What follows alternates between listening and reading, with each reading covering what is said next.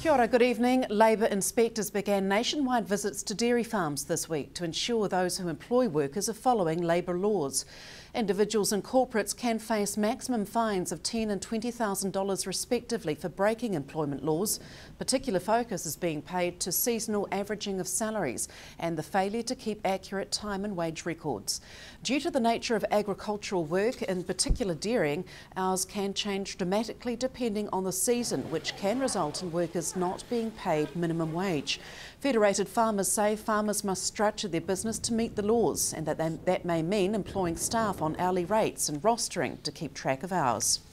As we all know, um, cows need to be milked seven days a week and also there's the, the extra time involved in the springtime and into early summer where it was really dawn to dusk or dawn to dusk um, um, farm work but then in the winter time we have um, some really slack periods where um, you might be only working two or three hours a day.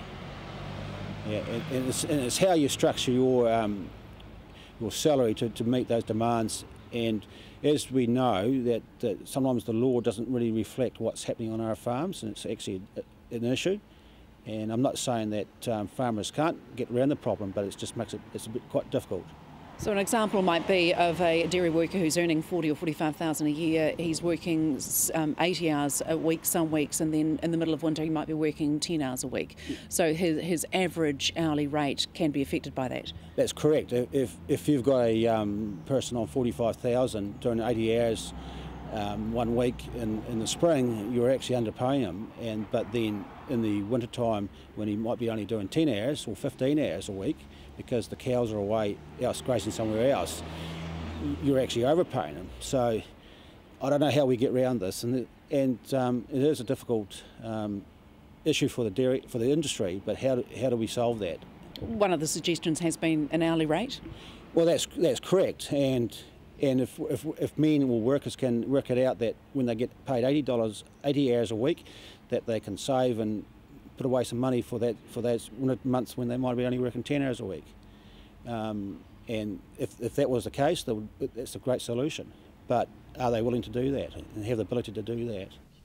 2013 census quick stats have been released about Southland that show we live in the 11th biggest region of 16 in New Zealand but have just 2.2% of the country's population. 93,339 people live in Southland and there are 1,017 more females than males. There's been an 11.4% increase in Māori since the 2006 census and 1.9% of New Zealand's Māori population live in the region.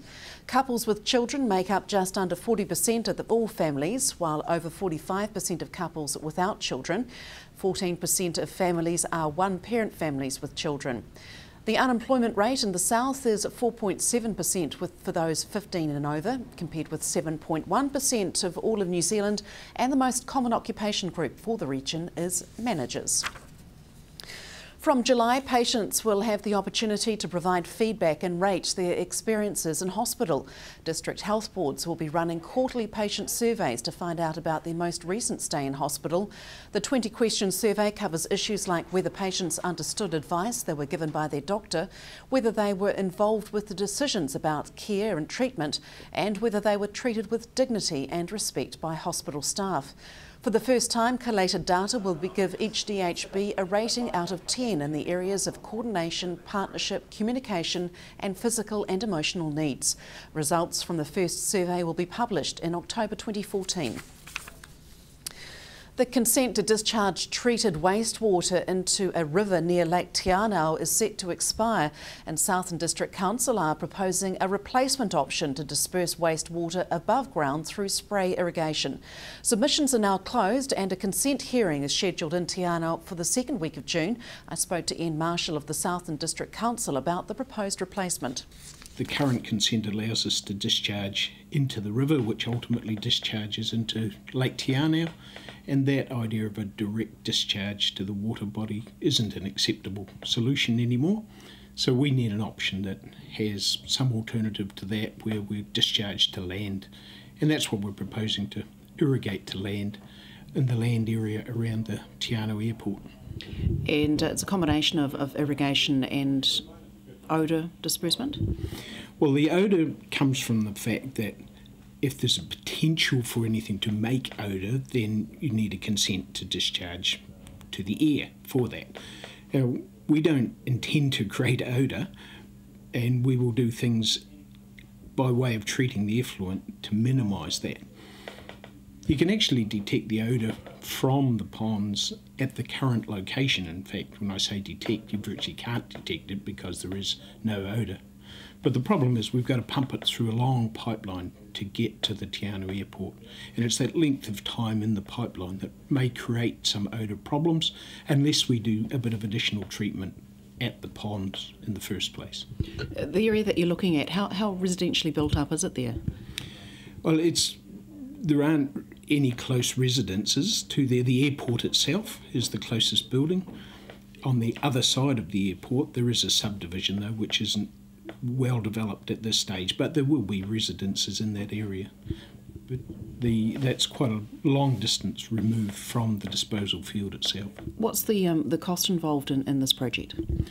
Well, the way it's designed conceptually at the moment, it's around ten million dollars.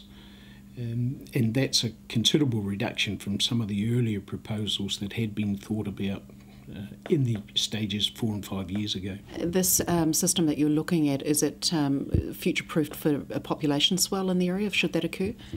Yes, it is. It's designed to accommodate roughly three times the sort of flows that are currently in the system, so it should handle predicted populations for the next uh, 20, 30 years. Stay with us up after the break. Guest nights in Queenstown rocket, and we find out why Meridian Energy and Southland District Council are heading to the High Court.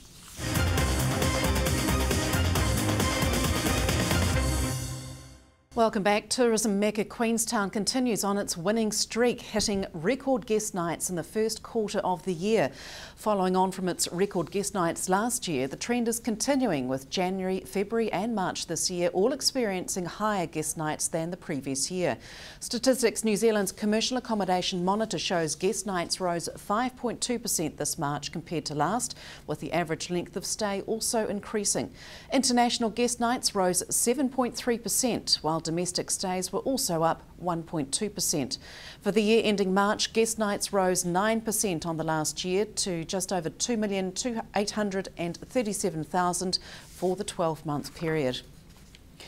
Meridian Energy and Southland District Council are working together to seek clarification on how legislation on the Manapōuri Power Scheme works with the Southland District Plan. It'll be up to the High Court to decide how Meridian and the Council work together on activities relating to the 50-year-old Manapōuri Te Anau Development Act. Essentially what we're seeking to establish is the interrelationship between those two pieces of legislation. In other words, um, does the Manapōuri Te Anau Development Act take precedence or does the Resource Management Act take precedence?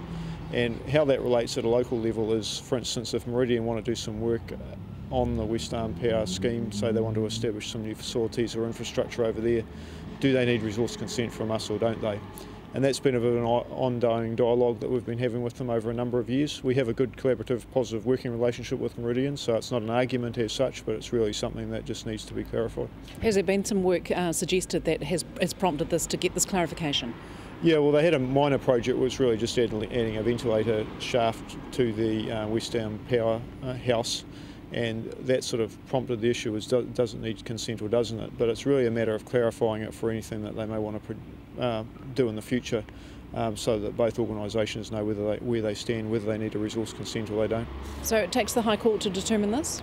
Yes, it does really. It's really a point of law, so it's not something that the Environment Court would um, consider because it's not a, prompted by a particular appeal against a resource consent or anything like that. It's really a legal issue about how the two pieces of uh, statute interrelate. What, what, sort of cost is involved in, in, getting to the bottom of this? Yeah, there will be some costs, and I can't give you an exact figure on that. Um, we've made an uh, agreement with Meridian that the costs will lie where they fall, so they'll fund their side of it and we'll fund our side of it. And we've got our heads together on sort of agreeing some facts to try and minimise the points at dispute, if you like. So hopefully that'll also keep the costs down to both parties and particularly to our ratepayers. So we're trying to clarify this issue uh, at minimal cost.